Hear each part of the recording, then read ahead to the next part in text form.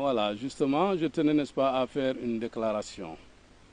Une déclaration à l'endroit, n'est-ce pas, du Sénégal et du monde entier. Euh, nous pensons, n'est-ce pas, arriver au nom du problème casamancé, que le Sénégal cherche depuis longtemps à trancher en supprimant par tous les moyens des vies casamancaises, même des vies innocentes.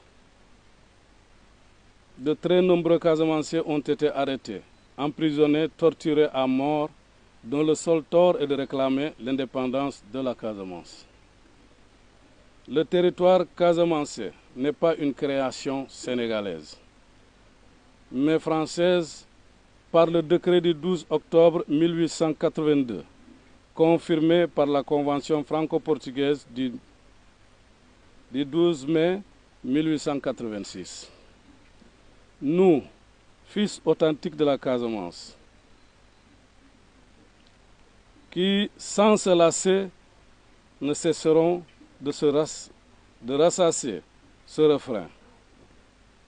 Jamais à aucun moment de son passé colonial, la Casamance n'a été juridiquement parlant partie intégrante de la colonie du Sénégal. Celui qui dit le contraire, nous l'invitons de nous prouver à quel moment et par quel décret la Casamance a été intégrée dans le Sénégal. L'histoire ne ment pas. Abbé nous disait toujours que la vérité vous fera, fera de vous des hommes libres. On ne peut pas créer une guerre et chercher ensuite la paix dans le mensonge. Et cette paix, tant recherchée pendant des années et des années, jamais le Sénégal n'a mis du sérieux dans ce qu'il fait. Nous voyons toujours, dans tous les cas, le mensonge de l'État sénégalais. Puisqu'à chaque fois qu'on parle de négociation, le Sénégal passe à travers. Le Sénégal passe outre d'ailleurs, en sélectionnant des gens avec qui discuter. Nous avons senti ces derniers temps,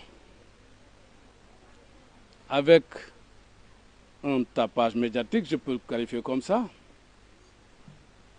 en parlant avec des gens qui se disent démissionnaires et qui ont rendu les armes. Nous signalons que ces gens-là, posez-vous la question s'ils sont du MFDC. Car le MFDC n'a jamais rendu des armes et le MFDC n'a jamais eu ce comportement.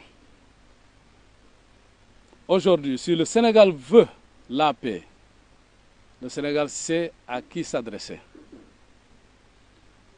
Ce n'est pas en bricolant une paix qu'on parviendra, n'est-ce pas, à retrouver cette paix. Nous avons dit que pour qu'il y ait une paix, on doit présenter ce comportement. Jamais le Sénégal n'a eu un comportement, dans le cadre, un bon comportement, qui dénote également que ces Sénégalais ont envie de la paix. La paix au Sénégal veut dire éliminer le MFDC, détruire les bases du MFDC.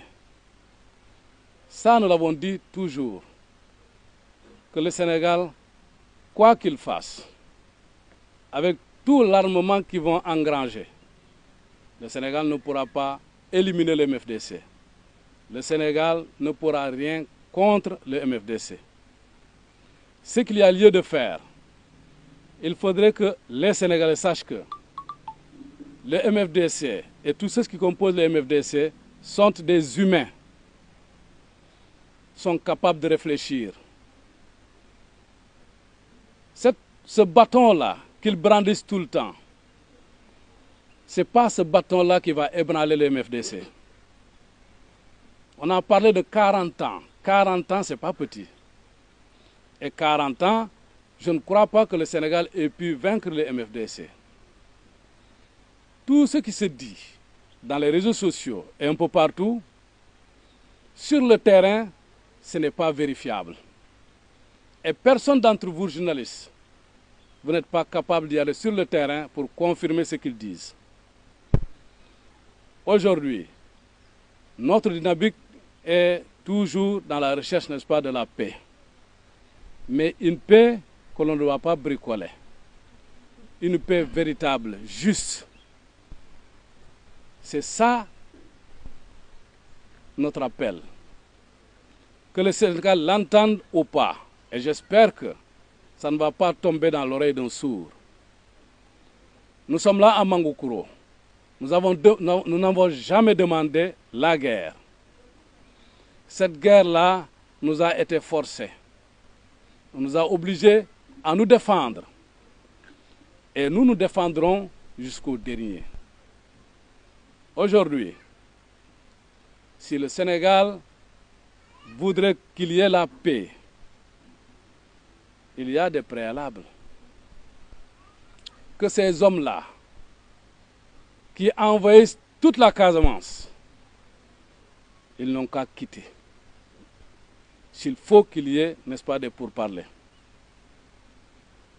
Nous sommes là, les gens sont réunis ici pour réfléchir dans ce cadre-là. Souhaitons que le Sénégal nous entende. Voilà ce que nous, nous voulons apporter comme message.